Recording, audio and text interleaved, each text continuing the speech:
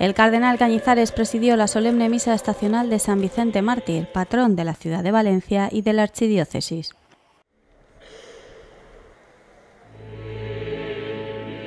Una Eucaristía con numerosa participación de fieles a los que el arzobispo animó a estar preparados para el martirio.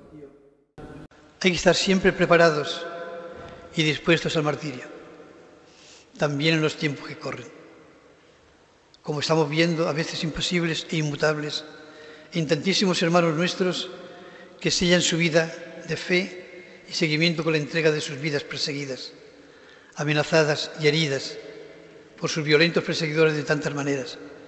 Y de tantas maneras también es con la lengua, con la lengua también, con las acusaciones en los medios de comunicación también, con el desprecio que se hace a la fe también. Eso de tenerlo presente. Hay muchas formas de martirio. Y hay un, aspecto inolvidable en todos los mártires. Son insignes colaboradores de la paz. Subrayo esto. Son insignes colaboradores de la paz. Porque en todo momento ellos han servido a la grandeza de la convivencia humana.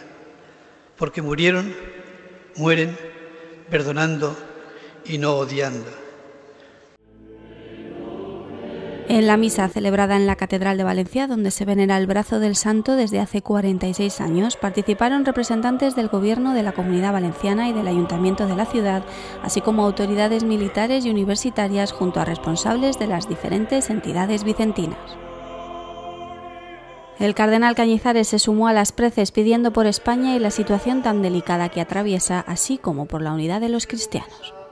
Pidamos también, de una manera muy especial, por España y la situación tan delicada que atraviesa, para que Dios le conceda a quienes le corresponda luz y claridad para buscar siempre el bien común. Roguemos al Señor. Y pidamos también por la unidad de todos los cristianos. Roguemos al Señor.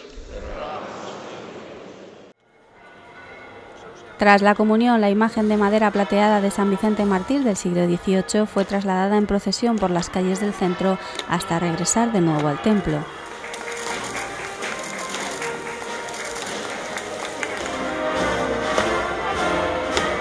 Finalizada la Eucaristía, el arzobispo agradeció la participación de todos los asistentes. Muchísimas gracias a todos los participantes en esta celebración Muchísimas gracias por su presencia a todos, sin excepción de nadie. Muchísimas gracias y que Dios bendiga copiosamente por intercesión de San Vicente Mártir a esta nuestra queridísima ciudad de Valencia. Que Dios, a través de San Vicente Mártir, conceda toda suerte de bienes espirituales, materiales, de todo orden a la ciudad de Valencia, a todos los valencianos, y que también nos ayude a que nuestra diócesis de Valencia sea firme en la fe y del testimonio de fe y de caridad que en estos tiempos realmente nos reclama.